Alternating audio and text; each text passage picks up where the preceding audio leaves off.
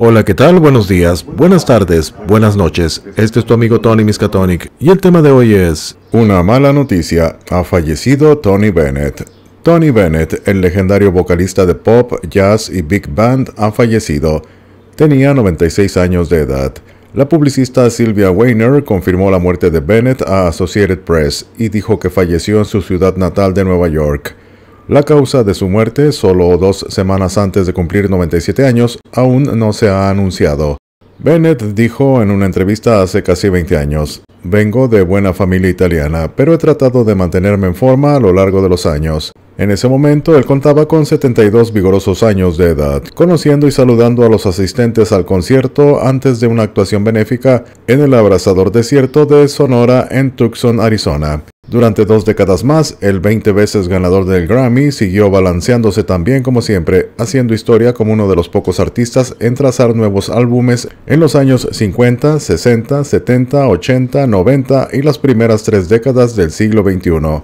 Anthony Dominic Benedetto nació en una familia pobre de inmigrantes italianos que vivían en Astoria, Queens, el 3 de agosto de 1926. Su padre, Giovanni, un tendero, murió 10 años después, lo que obligó a su madre, la costurera Ana María, a encontrar nuevas formas de ganarse el pan en medio de la Gran Depresión.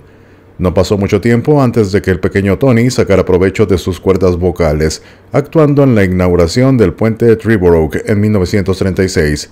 El legendario barítono era un tenor tierno en ese entonces y, según los informes, recibió palmaditas en la cabeza de parte del alcalde Fiorello La Guardia.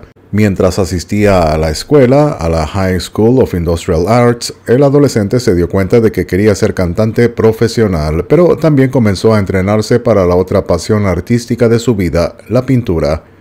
Décadas más tarde, su antiguo pasatiempo se convirtió en un ajetreo secundario muy elegante y lucrativo. Hizo pausa en su carrera para servir en la Segunda Guerra Mundial.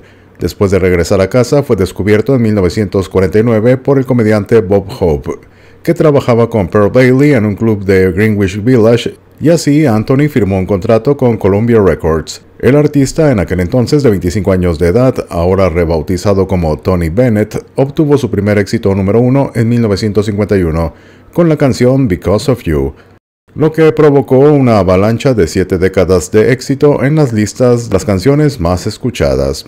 Más de medio siglo después de que llegara a las listas de éxitos, Bennett dijo que nunca se cansó de cantar su canción característica de 1962, I Left My Heart in San Francisco, algo así como Dejé mi corazón en San Francisco. Pero ciertamente también hubo tiempos oscuros.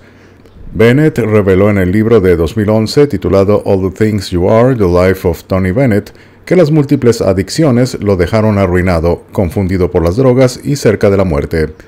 Bennett también confesó haber consumido cocaína y fumado marihuana en un esfuerzo imprudente por olvidar sus problemas financieros en las décadas de 1970 y 80. Él contó, estaba en una caída en picada completamente autodestructiva.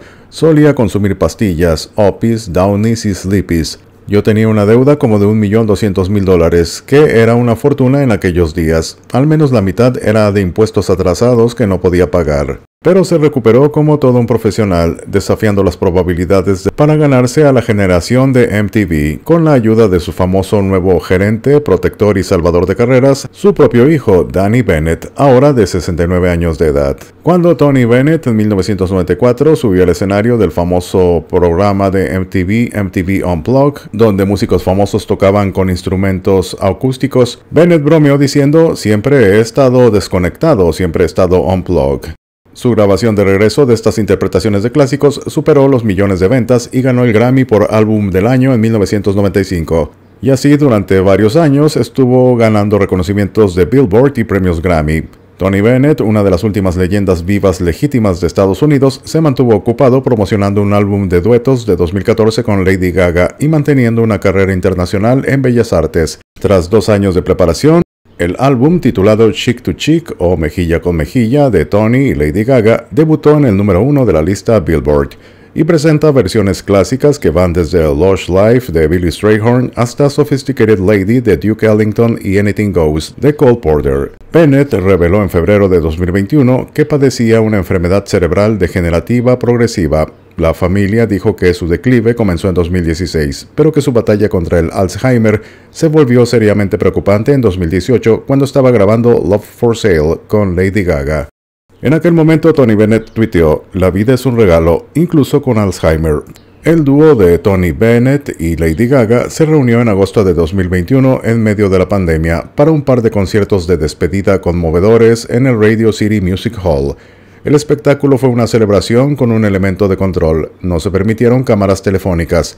Solo para estar seguros, los asistentes tuvieron que cerrar en bolsas de seguridad sus teléfonos a medida que ingresaban al recinto. Anunciado como una velada de última vez con Tony Bennett y Lady Gaga, este nombre críptico para este evento hizo que muchos en la audiencia externaran en voz alta que era la última oportunidad de ver a Bennett en vivo. Y en efecto lo fue. Sin embargo, además de ser una despedida para el dúo, también fue un momento de revelaciones. Gaga, de 36 años, recordó la historia de su primer encuentro con Bennett en un vestidor detrás del escenario. La en aquel entonces novata de la industria, al encontrarse con la leyenda Tony Bennett, le dijo, Hola, soy Lady Gaga.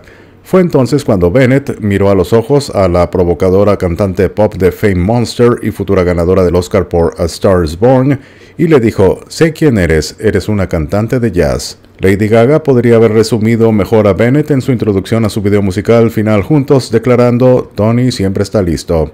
A Tony Bennett le sobreviven su esposa Susan Crowe Benedetto, cuatro hijos, Antonia, Danny, Day y Joanna Bennett, y dos nietos, Kelsey y Remy Bennett. Tony Bennett dijo una vez que la clave de su longevidad es mantener altos estándares. Él dijo, me uní al American Theater Wing después de luchar en la Segunda Guerra Mundial y fue la mejor elección que he hecho. Lo primero que aprendió, ya sea música, baile o canto, les enseñaron a todos, nunca se comprometan, solo hagan calidad. Tony Bennett dijo, en los años 50, cuando hacía siete espectáculos al día en Paramount Theater, al final de la noche le cantabas a todo el mundo, los adolescentes, las parejas casadas, las personas mayores. Aprendí que siempre es mejor tocar para un gran grupo demográfico, es un mejor negocio y significa que tienes que elegir canciones excelentes que tengan un atractivo universal. La mayoría de las grabaciones a dúo se realizan ahora a miles de kilómetros de distancia entre ambos cantantes en los días actuales, gracias a la tecnología digital.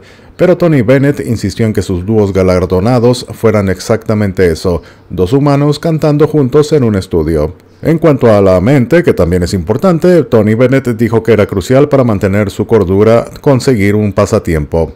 Él dijo, es particularmente beneficioso como artista tener otra forma de arte que seguir. Cada vez que me siento un poco fatigado por cantar en público, que es una actividad muy gregaria frente a miles de personas, puedo encontrar tiempo para estar solo y concentrarme en pintar, que es una actividad más interna. Y finalmente, uno de los mejores secretos comerciales de Tony Bennett fue, escuche nuevas voces. Una vez, Tony Bennett dijo a The Associated Press, escuchen nuevas voces, además de disfrutar plenamente de Lady Gaga en este momento, tiene un gran número de jóvenes que la aman y nunca han oído hablar de la música popular de jazz, la música clásica estadounidense, y mi ambición era hacer este álbum para que se familiarizaran con esta música. Descanse en paz, Tony Bennett. Se despide tu amigo Tony Miskatonic y te deseo un buen día.